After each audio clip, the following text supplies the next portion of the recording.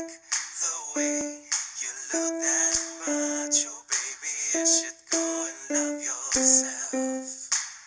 And if you think that I'm still holding on to something, you should go and love yourself.